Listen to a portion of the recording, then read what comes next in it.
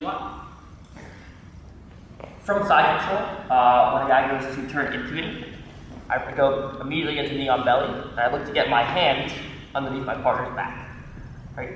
From here, I drive my knee across, down, I blade my shin underneath his back.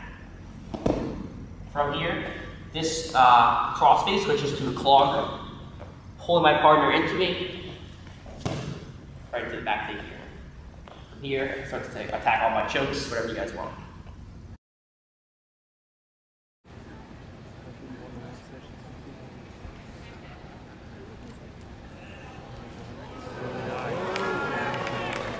Oh, get looks in.